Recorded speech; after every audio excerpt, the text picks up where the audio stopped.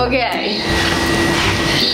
So, hey guys, welcome to my channel. Welcome if you're new.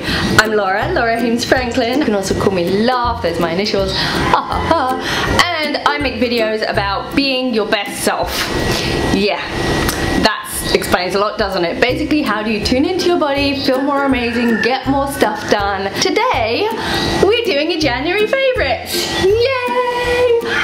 Been wanting to make consistent favorite videos for the longest time. I've been really bad at it, so I can't promise they're gonna come every month, but I'm going to try. Which brings me to my first favorite thing of this video, which is my planner. So, I don't know about you, but I love having a physical planner.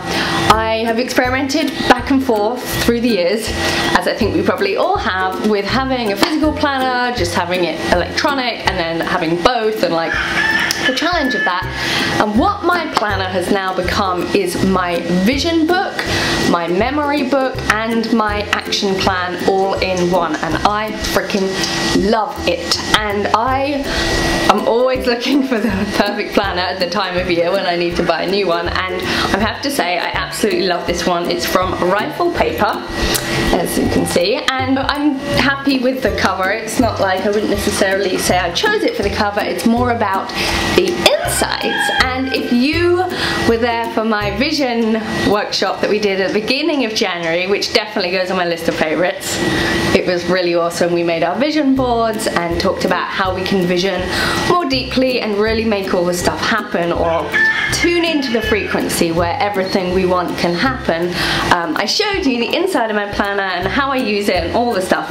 And if you want a video here about how I plan what I do all these like little things that you see going on in here um, comment down below. Let me know if you'd like to see that because that's actually a video I would love to make for you guys if indeed you want it and you think it will help you the change and change the world which I definitely recommend if you have a planner like on your first page remind yourself, like keep your vision board always with you. I just feel like, you know, often people make these vision boards, they stick them on their wall, and like it's not really with you. I've found that I love is to have a vision board in my calendar book that I constantly refresh to. So I've got the galaxy here because I like connecting to the science of the universe. I've got a sticker that says see the world. Um, I've got a little sticker here that says no excuses. That like vibration of all these things through into everything I do. This one says, we vibe higher each time we let go. Yeah, true that. Be the change, which is huge. So this planner is awesome. Um, my 2019 I feel is all about workflow and that balance between getting stuff done, taking actions, but also being in the flow and then really becoming one. That place where the right brain and the left brain, the analytical and the big picture, the feminine and the masculine can become one. They can support each other and not fight each other. Hence also why I'm here in Bali right now because I found right now it feels really good for me to be able to deepen myself into that place. When I'm in New York it's awesome but I can get really pulled into the more masculine harshness and the stress of just survival and then that makes everything a little bit harder. And something I'd love to hear from you if you struggle with that what has worked for you let us know share it in the comments. Let's help each other to really tune into that place where we can create that flow that abundance that connection and get things done to help bring forth more flow abundance and connection.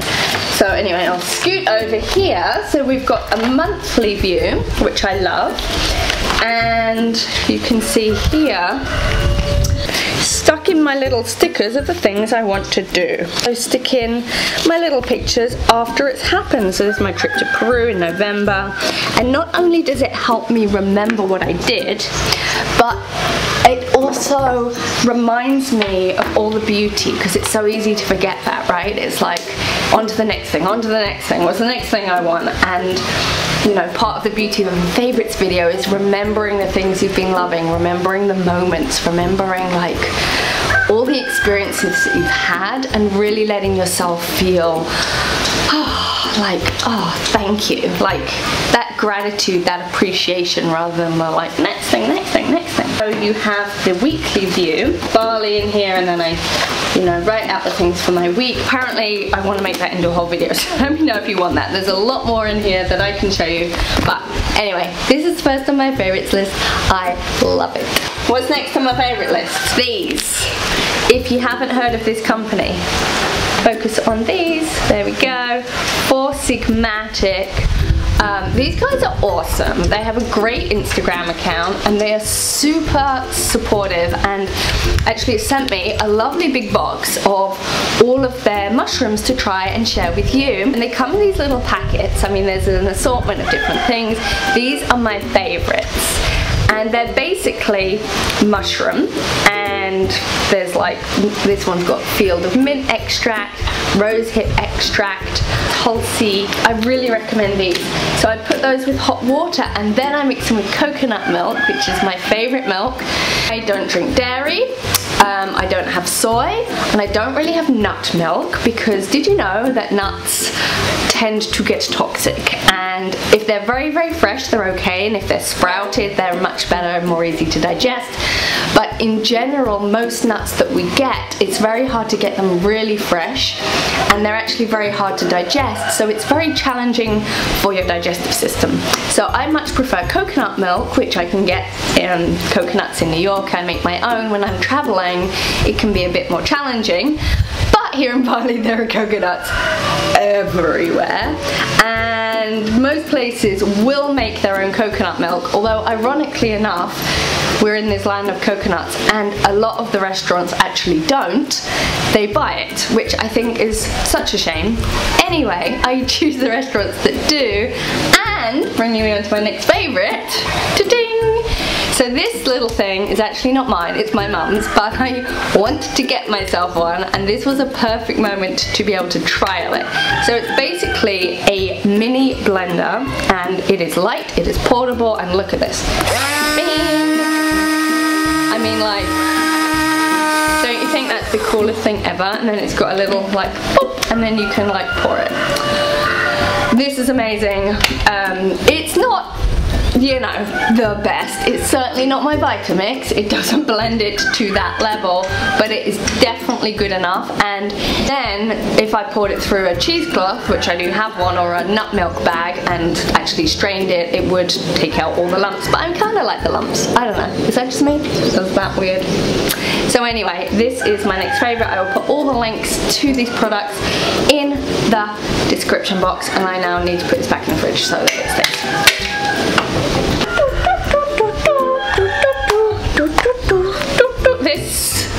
Is my next favourite. So these are bubblegum shoes. They're not made of bubblegum in actuality, but I like that they're called bubblegum shoes. Um, they're really dirty now. Sorry about that. But I love them. And, oh shoot, that's Eric. Uh, okay, one second. I'm gonna call him back, although I can't be too long because he's about to go to sleep in New York. Anyway, um, these are bubblegum shoes, they're amazing. They're basically jelly shoes, but they're cute. They happen, luckily, to match all the clothes that I brought, pretty much. And they have been so, what's the word when you can use them for everything? Uh, type in the comments that word. They're just, they, they they look nice when they're cleaner. so I can wear them with a like nice outfit. I can also wear them, they've been to waterfalls, they've been on beaches, they've been walking me through mud and taking me to temples and you name it, these shoes have been amazing. The only thing I will say is that the insole isn't totally waterproof. It's, it's um, uh, material, which is nice, it feels good, but if you get it wet, it's really soggy and gross. So I've learned that if you're gonna wade through a river, take the insoles out first, because otherwise you're gonna have soggy feet for the rest of the day. But I love these, check out bubblegum shoes, Uh, they have so many different designs and styles and hopefully I'm going to get me another pair and uh, be able to share them with you. So yeah, loving these. Next on my favourite list is coconut oil. So mm, you can't get this brand unless you come to Bali and drive up this little road because the guy over there makes it and I have to say it's blown me away hearing him talk about him making coconut oil, how passionate he is. Oh my god, I just saw this, like, look. Can you see that? Focus. Little face in the coconut here. Oh my god, he's so cute. I will um, insert a little clip of him, but he's so passionate about making his coconut oil and it is just so good. And you see how it's clear? That's because of how he makes it. So basically, you kind of make it like coconut milk, like I just showed you the blender. So you put coconut meat, water, blend it up. And then, so he makes this big tub of it and then he leaves it in the sun and the sun basically like separates it. Hopefully I'm getting this right. And after 24 hours, the oil has risen to the top and all the other white stuff has kind of gone to the bottom and then he literally like spoons it off and puts it through a strainer and that's the coconut oil. It is so amazing, so clean, so pure. I kind of want to make it. Um, the difference with like most coconut oils is that they're usually made and they're heated so they're not done by hand they're not left out in the sun. So they're heated and that's why they turn yellow. So I don't know how or why. I don't know all those facts. Maybe if you know if you're a coconut um, oil expert you can let me know. But I use this I just put it on my hair to make it less of a frizz ball. Um, I put it on my skin. It's very good for you. It's naturally antibacterial. Um, I cook with it. I put it on my toast. It's basically, I mean, it's amazing. Coconut oil is the best. And I definitely recommend, if you're cooking, only cook with coconut oil. So hopefully you like the taste and the smell. Some people don't, so it's a thing. But vegetable oil, canola oil, all that other hydrogenated oil isn't very good for you if you ever go out to eat and you feel like uh, upset belly at the end of it, it might be because of the oil. So that's something I always ask in restaurants is what oil to cook with? And if they don't cook it coconut oil, I ask them to grill it or steam it or do something that doesn't involve the oil or maybe a little olive oil, but that's not the best either because that tends to oxidate. Anyway, just use coconut oil, it's easier. Next on my favourites list is this pen that goes with my calendar book. It is the Pilot GTEC C3. Yes, it's really skinny, it's black, it's smooth, and it's amazing for writing all my little notes on my book. Next is this body cream, which again, they make here in Bali. I don't think you can get it anywhere else, but those of you who are in Bali, you probably know this brand already. Nadis Herbal sorry, there's a hair on it. Rose uh, Body Cream Rose. I love the rose. Focus, there we go. And it is made of Ayurvedic base oil, aloe vera, beeswax, cocoa butter, spring water, seaweed and rose oil and it's amazing. So when I'm not putting my coconut oil on me, I will put this on me. Oh my god, it's so good. It's so good. And apparently they have classes on how to make it. So I'm thinking about maybe going. Let me know if you think I should go and vlog it and teach you how to make your own. Unless you're coming to Bali. If you want to come to Bali, also let me know. Oh my gosh, I'm asking you so much stuff. Um, okay, this little thing is a pot that um, I don't know what I had in it before, something else. I got it from my mum and I've been putting my Himalayan crystal salt in it. Very important, have good salt in your diet. This goes on everything. Himalayan crystal salt. Don't already know about it, look it up, replace any other salt with Himalayan crystal salt. Next thing I'm loving is this candle. It's natural, it smells absolutely incredible. Definitely recommend avoiding candles made of petroleum and filled with all the like nasty toxic perfumey stuff. This one is pure and natural and it's also rose. Maybe there's a thing. Bring me to the last but one thing. This toothpaste, which is not toothpaste at all, it is basically baking soda toothpaste. The reason why I love it it's got all kinds of things in it, but basically baking soda, magnesium carbonate, sea salt, it's peppermint oil. It's very pure. Um, it has a list of all the things that it doesn't have in it. No SLS, what is that? Not sure, but I'm sure we don't want it. No artificial sweeteners, no parabens. And it's small, easy to travel with, and it's basically like a powder and um, I just really like it. So I don't use it all the time, but I use it a lot of the time. And if I'm like going on a little trip and I want something small and easy, I will take this lastly, my favoritist favoritist thing. Oh, no, there's one more thing, except I have to show it to you later. Okay, the last but one thing, for real, is this water bottle. I have been on a hump for a good water bottle for so long, literally so long. And the best one I had found, I mean, I've been through my journey with water bottles because I would prefer glass because, hey, it's glass, it's really clean, obviously it's not plastic, refillable, etc. But then it's really freaking heavy and I just can't handle it because particularly when I'm carrying all my other stuff and I like, I like to carry my things I mean, I don't like to carry my things, but I like to have my things with me. Bottles for Earth, which I also love the name, .com. Um, I did try to contact these guys because I was like, hey, I want to partner with you. I want to share about your bottle. It's amazing. And they didn't get back to me yet. So if any of you know them, I know they're in Bali please connect me and I will try to reconnect and see if um, yeah, if they want to share more, maybe we can do a giveaway with one of their bottles. So let me know if you would like that. And the last thing, which I'm going to have to wait to show you, is these snacks that I've been loving that I love so much that I don't have any left because I literally can't stop eating them. So I was kind of like I should stop buying them for a little while. But they are seaweed and coconut oil and they're crispy and they're delicious and they're amazing.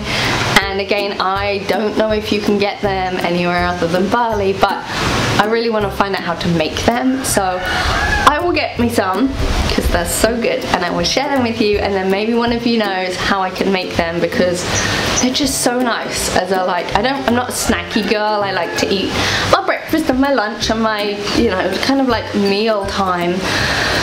But in the evening, when I don't feel like a like meal meal, I might just have a little piece of toast or a little bit of rice porridge and a few of those, or maybe half a packet of the seaweed crackers. And they're just so nice, they're crunchy. Oh, crunch. Is it just me? That crunch is so good. Anyway, that is gonna, oh, and this is also a favorite. This is my friend Ting. You can go follow her on Instagram, TingXTing. And this is Trust Tells the Story of Abundance. I love this. I actually bought this picture before I met her and then we ended up being really good friends and she's amazing as is her boyfriend Scott who um, you will meet in the vlog when I get the vlog up and edited. So they're amazing but Trust tells a story of abundance and that is my vision for me, for you, for us because for us to change the world we have to tune into that abundance, that feeling in our body where we are connected to infinite energy and that support and that like divinity and beauty of nature and let that come through and let ourselves be in that vibration of abundance and then let that change the world and not be doing it from the stressed out place and trying to change the world to a more loving place. It's like, no, we have to feel it first. So this reminds me to keep going in, to keep trusting, to keep connecting to that inner world of abundance so that we can create together the next level of outer expression of abundance for everything. So this month of February, we're going to be moving into some money magicking. I'm going to be leading my superhuman money course again. It's going to be starting like later in February and my goal and my wish is that we can together connect in, support each other to uplift our vibration, our feeling of abundance, what we can create in the physical world, making it very real and really changing the money system defogging ourselves from all these illusions and all the like insane thoughts that we have had conditioned into us, particularly in the Western world, which is why it's so nice for me to be here in Bali right now and be really like away from that, where the people are just so happy to just exist. And it's like, oh yeah, that's what it's meant to be about. So anyway, that is coming. Get excited for that. Eric is stinging me. I'm gonna go call him back. I love you a lot. Thank you for being here and um, definitely write me a comment. Please, please, please. Also let me know if you have questions. The action ship is gonna be coming back.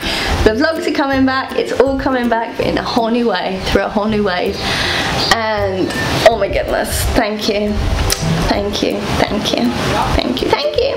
Alrighty, I will see you in the next